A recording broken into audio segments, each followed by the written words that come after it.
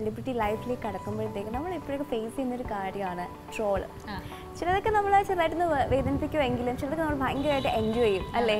അപ്പം അനു ലൈഫിൽ എൻജോയ് ചെയ്തിട്ടുള്ള അല്ലെങ്കിൽ അനുവിനെ കുറച്ചെങ്കിലും വേദനിപ്പിച്ചിട്ടുള്ള ഏതെങ്കിലും ട്രോൾ ട്രോൾ അനുഭവം ഒന്ന് പങ്കുവയ്ക്കാം എൻജോയ് ചെയ്തിട്ടുള്ളത് ഫസ്റ്റ് തന്നെ ഞാൻ ശരിക്കും പറയുകയാണെങ്കിൽ ഈ അനുസ്തര എന്നുള്ള പേരൊക്കെ കുറച്ചൊക്കെ അറിഞ്ഞു തുടങ്ങിയത് ഹാപ്പി വെഡിങ്ങിന് ശേഷമാണ്. എങ്ങനെയാന്ന് വെച്ച് കഴിഞ്ഞാൽ തേപ്പുകാരിയായിട്ടാണ്. തിരിച്ചിട്ട് പോവാണ് കൂടെ പ്രേമിച്ച ആളെ.